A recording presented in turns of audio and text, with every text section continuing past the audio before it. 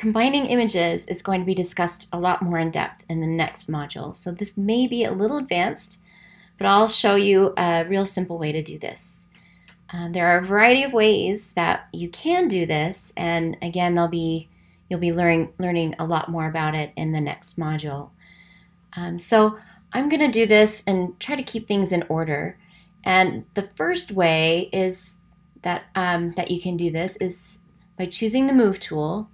I'll go on over to the background um, image, and I'm going to go ahead and click on it and I'm going to move it over kind of a drag and drop type of thing and move it into place.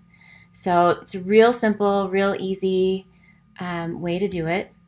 Um, and then to keep this in order here and also practicing more skills and getting in a good habit and, and a good workflow, um, rename your layers so you can um, keep keep them um, in in order and know what you're working on in each layer. So I'm going to go um, over and do the same thing here. Well, not the same thing, but I'll show you a different way. So here um, you can just simply do a select all and a copy and a paste and uh, you can do the, essentially the same thing. So it's the entire layer that you're bringing over so um, real, real simple, easy ways to do it. Okay, so now um, you want to make sure, so I did this in order, you want to make sure that the, that the order is, the background is below um, what you're going to be using to mask. Um, so um, I did that and also rename them. And again, I will recommend that you um, do the same thing. So now, what selection tool do you think will work the best? What selection tool are you really good at? Well, what you choose may not be the same as me. And again, everybody's going to have, you know, their own thoughts about this and I don't think there's really any wrong answers. Um, but for me personally, I really like the quick selection tool. So that's what I'm going to start with. I'm going to go over here and grab the quick selection tool. So um, I think you've gotten from some of the other uh, videos that I've that I've done here for this class. I'm not really good at multitasking, particularly when I'm working and talking. I just can't do it. So while I make the selection, I may pause for a bit here, um, uh, and it may be a little silent. So, oops, I'm gonna go ahead.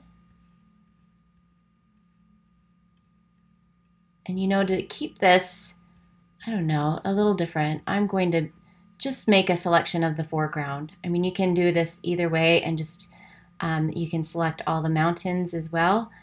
Um, but I'm going to make it a little more abstract and different by just selecting the arch. Okay, so again, here I don't want all of this included, so I'm going to hit the Option key and I'm going to drag that out. So, so my selection looks pretty good, and there are a couple of areas up here that can be uh, that can be refined. So I'm going to zoom in so I can see a little bit better. And again, this quick selection tool actually does a really great job. And again, I've already mentioned that I really like it. But you use whatever tool you think is going to be best for the job and and also keep in mind which tool you're really good at using.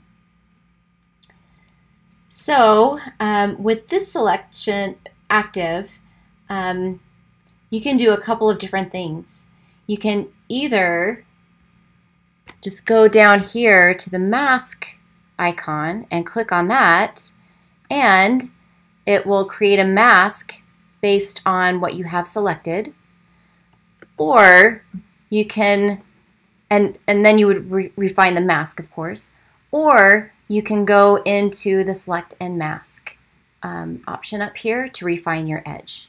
So I'm actually going to work in here for a little bit and make my mask based off of this refinement.